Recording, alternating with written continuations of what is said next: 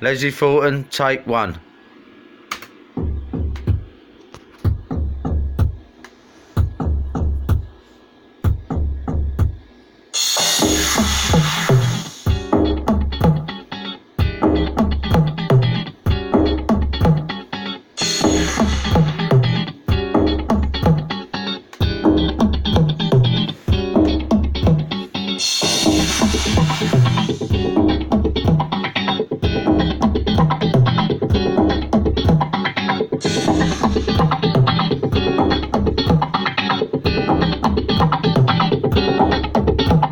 Je pense que c'était un trafic.